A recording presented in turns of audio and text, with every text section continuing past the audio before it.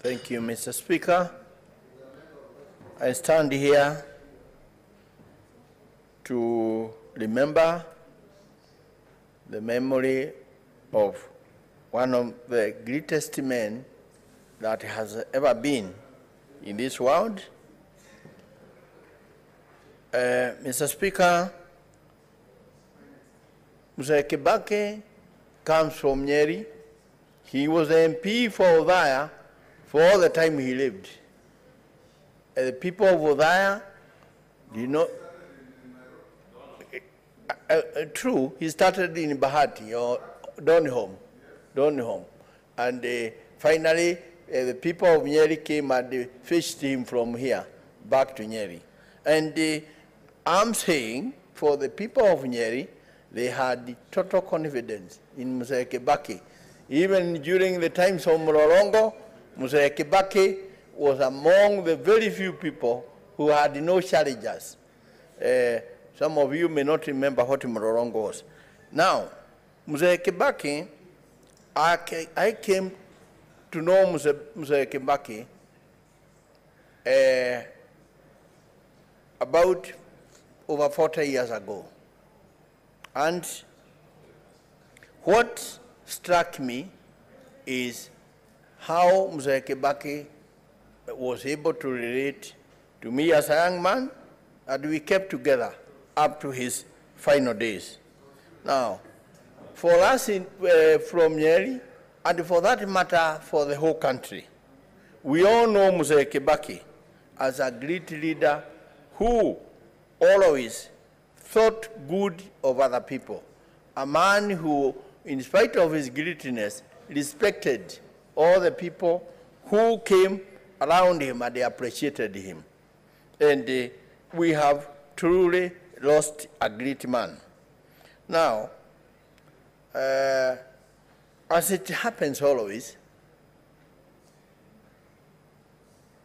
it, uh, I remember the words of Mark Antony that I come to Bali Caesar not to praise him. Mr. Speaker, we can, uh, uh, the praises of Mzee Kibaki uh, cannot be enumerated in any manner through any single speech. And, but the greatest of all is the character of Mzee Kibaki. As we stand today, we recollect the good times that he, he, uh, he, he created in this country as the president of this country. But reflecting earlier, Mzee Kibaki, when he was Minister for Finance, he did a lot to actually uh, improve the economy of this country, improve the lives of many ordinary Kenyans. But most of the many things that today we witness in this country, the major cash crops that have been put up in this country, from coffee, tea, dairy industry, the sugar production, all the other programs of cashew nut factories that were there in, in, at the coast, and major other things, including even KMC for the pastoralists, were done when he was minister for, for, for, for finance.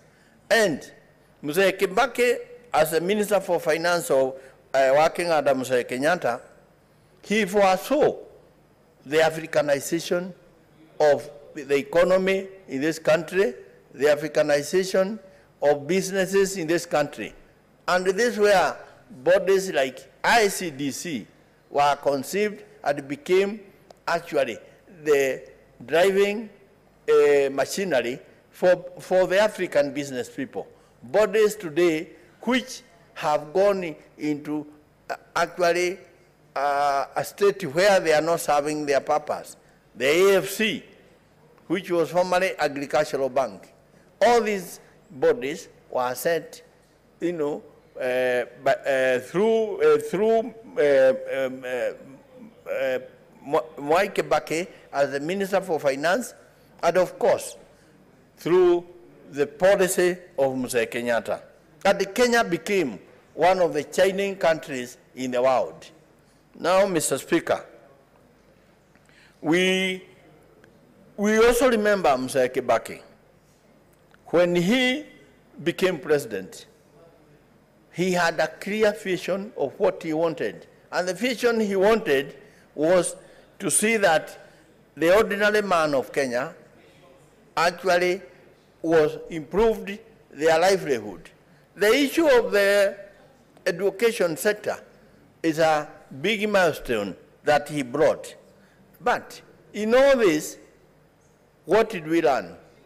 There are many things we could talk of, of, of, of greatness of a man. But the greatest things that a man should be remembered about is his humanity, his human self.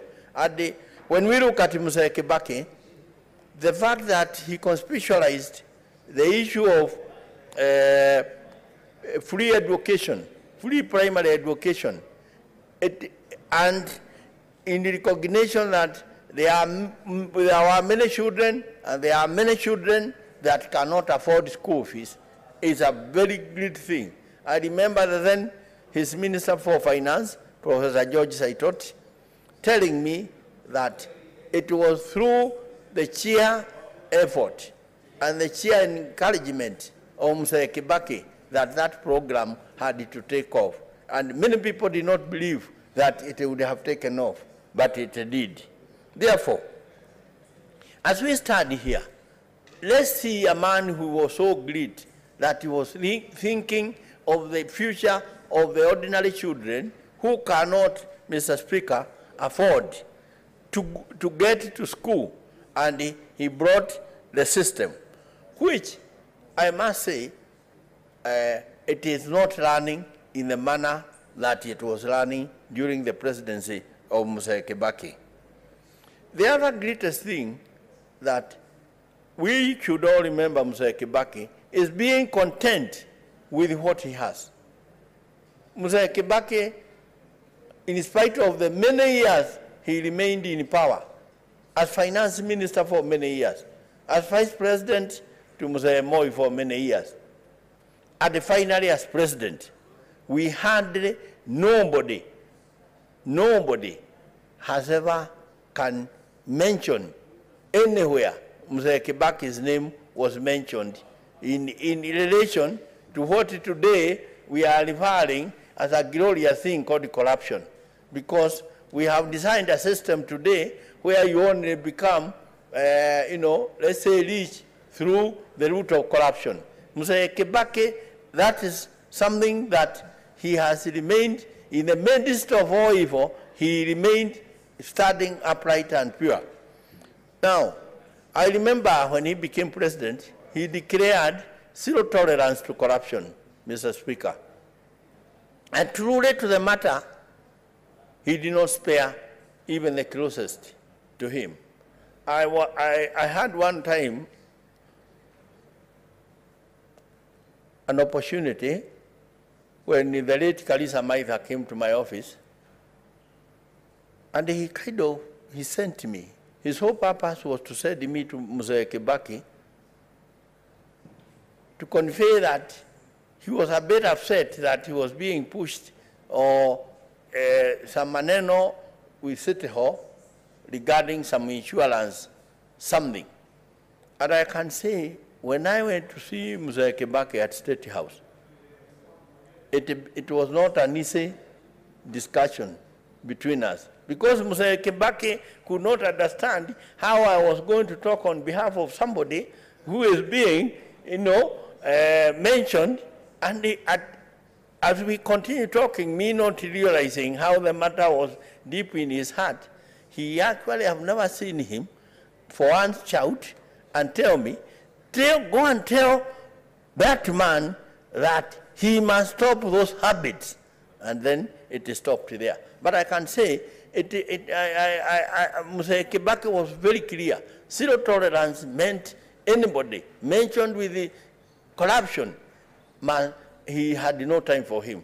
Mr. Speaker, when I say this, I, remember, I, I know the, the, the hearts of many Kenyans can be pained today. How many people have been taken or have been mentioned? Billions in COVID, billions, even in this house, uh, you know, governors coming here with impeachment, and nothing is, is, is happening. They all seem to walk out there. And, and, and, and then we are witnessing a country that is bleeding, where the economy is not doing well.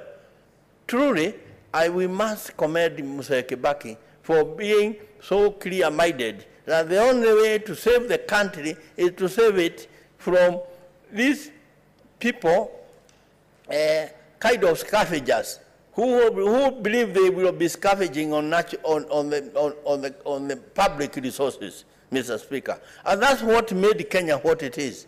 Mzee Kibaki brought a culture in this country where hard work, he preached hard work to everybody, and he preached that you don't have to steal to be rich. And let me say, uh, the other most notable thing to learn from Mzee Kibaki is the fact that to be poor is, to be poor is not a question of what you have, or to be rich is not a question of what you have. To be poor is a question of what you wanted to have minus what you have. And Mzee Kibaki lived with content with what he had, and we, we all actually admire that kind of spirit of a man. Mr. Speaker, uh, we also remember Mzee Kibaki as somebody who had the capacity to actually uh, cooperate even with people he did not, uh, uh, he did not come uh, uh, agree with. And I want to say I, ha I, have witnessed various incidents. And I remember one time I dared and I had courage. And I told him, I went to State House, and it had taken a year. When we, Mzee Kibaki took over, there were a kind of skirmishes between the former people who are in government and the people who are in, the, in his new government. And I told Mzee Kibaki, I believe, Mzee, I would recommend that it would be good you invite Mzee Moi for a cup of tea. And he asked me, sasa tuta, tutatuma nani? And I gave the name of Bishop Yego and they started discussion with Mzee Moi. So, Mzee Kibaki was somebody who appreciated any idea, all as it looked. And, and that is one of the greatness of, of men. When we come to our area in Nyeri, there are things that we will remember Mzee Kibaki for. And one of the greatest things we remember Mzee Kibaki is that he actually managed to settle the people who had been chased out of the Mount Kenya forest who are actually living under what is called the shamba system. In Mount Kenya forest, in Aberdare forest, and settle them in what we today is called Solio village, some 15,000 acres of land, and those people had lived miserably on the, on the footpaths of small rural roads for over 20 years, and they had been removed uh, through some dubious, miscellaneous accusation that they could be harboring to some insecurity problems in where they were living. People who had lived in the, you know, helping in conservation of Mount Kenya forests uh, and the conservation of Aberdare forest, and today we see how the forests are, have been depleted. Therefore, Mr. Kibaki, Mr. Kibaki will be remembered uh, by those people and all the people uh, around Nyeri and Laikipia as somebody who came to their rescue for their livelihood, Mr. Speaker.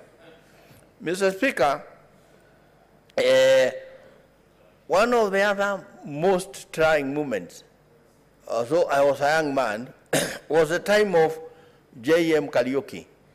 And Mr. Kibaki had one of the hardest times, and he stood to his form as a man of his character. And I remember his words at the burial of J.M. Kariuki, where he said, even if it takes a hundred years, the truth will be known. I want to say, Mzee Kibaki was a man who lived upright in spite of all the years that were surrounding him again and again. Now, we also learn from the Kibaki things to do with the democracy, things to do with the rule of law, and things to do with the freedom of speech. During Mr. Kibaki's time, he took over and he actually liberalized the issues of the media to an extent which is very admirable today. And, uh, and uh, from Mr. Kibaki, he did not mind criticism, and he believed that criticism was the way to actually improve a country, and you have to let people be able to, to, to air the, their, their views. And, and therefore, as we, we, we, we mourn Mzee Kibaki, as a country and as a people, we also remember him as somebody who actually wished to, to, to set up a, a, a governance system in this country, a governance system for all the people as, uh, as, as envisaged in the best governments of, of the world. In this regard, I want to say in this particular time of politicking which we are doing, let's remember Mzee Kibaki, Mzee Kibaki's, and follow his example and ensure that in spite of the, the struggles and the bitterness that sometimes is developing and the temperatures that are developing, we should always emulate Mzee Kibaki and ensure that Kenya remains a peaceful country and we see a peaceful election for the welfare of our people. And to me, I'm saying this sincerely because uh, we, can, we, have, we have already witnessed the high temperatures and they are going to get higher. And uh, we should always remember that we are all one Kenya, as, as, as Mzee Kibaki showed when they shook hands with Mzee, uh, Jala, uh, Mzee Raila Odinga, and Kenya became a one country, a united country, moving in good state. Therefore, the, I want to call upon the likes of my brother Wetangula, you know, in, in spite of the, the, the, divisions that are there, let us remember that we uh, there is always checking of hearts. A country will be one. Fine. So, Mr. Speaker, I'm only calling upon Kenyans that as we go to the next elections, in, in, the, in, the, in the memory of Mr. Kibaki, let's ensure that we keep peace and unity in this country. In spite of whatever results that the, the, the elections will bring, let us remain together as brothers and sisters and carry on in the memory of Mr. Kibaki. Uh, Mr. Speaker, uh, I must also call upon Kenyans and upon the government as Mzee Kibaki had set example that he will not tolerate anything to do with the corruption. This country is bleeding with corruption. The billions that we are reading, and do you know, I keep on telling people, a billion, which most of us have not seen, is not small money. A billion, a billion, a billion. Now, I am I'm just saying, if you put a billion in a house, and every day you take 10,000 shillings, every day you, you use 10,000 shillings, you will take, it will take you 267 years to finish the billion. Therefore, therefore, therefore, Mr. Speaker, therefore, Mr. Speaker, Therefore, Mr. Speaker, when we are reading about the billions that are, are, are, are actually being spewed by individuals, two billion a day, honestly, let's remember the memory of Mr. Kibaki and ensure that those thieves that are stealing the money in this country, the resources, such that we cannot get medicines in our hospitals. We cannot, uh, you know, uh, afford to equip our, our schools as they should be equipped. Mr. Speaker, uh, you know, the same people who are subjecting this country to high cost of prices of things, let us ensure And I call upon everybody, let's ensure that these people are put in committee where they belong, and Kenya starts being the country that we envisage envisaged it to be. Let me also say, Mr. Kibaki, although he was a believer in free economy, I, in the, in the, in the parliament, I brought a bill, the price control bill, which was supported by the whole parliament, and it was talking about 10 items, which today, even today, when I listen to Kenyans, they are crying about it. Maize, maize flour, rice, cooking oil, uh, paraffin, petrol, diesel. I enumerated 10 things that I felt government should be actually having a control on prices. Because I don't believe that we should, be, we should ever be living in a country where common people cannot afford basic commodities. And, uh, Mr. Speaker, in spite of all the major opposition from many people in executive, I want to say I, to this day, I'm very grateful to Mr. Kibaki. He signed, the, he signed that into an act of parliament, and it remains not effected. And uh, I would call upon, in the memory of Mr. Kibaki, let that be, let that act be uh, uh, enacted so that Kenyans can actually, actually be uh, given a certain price on unga, if nothing else, on rice, on cooking fat, so that every Kenyan can feed. Because some of us don't believe we should be in a country where some people go hungry when others are throwing food into the, into the dustbins, Mr. Speaker. And I want to say that is one of the things that I feel should be done in the memory of Mr. Kibaki, enacting that law which he signed. Therefore, Mr. Speaker, I want to say that there is a lot that we, can, we learn from Mr. Kibaki.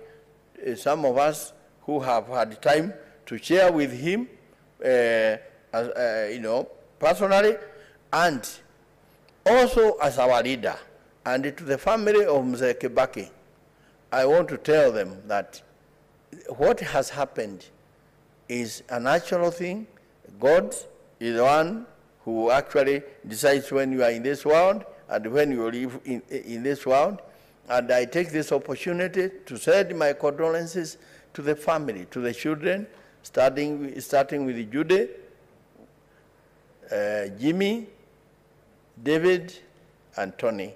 And I, for one, as the senator of Nyeri, and whatever else I'll be tomorrow, they can remain assured that they will always have me to do all that pertains to be done when they need my service. Thank you, Mr. Speaker. Thank you. May the soul of our Muse rest in peace among the other, the angels of heaven. Thank you. Thank you so much, Senator Mutula Jr.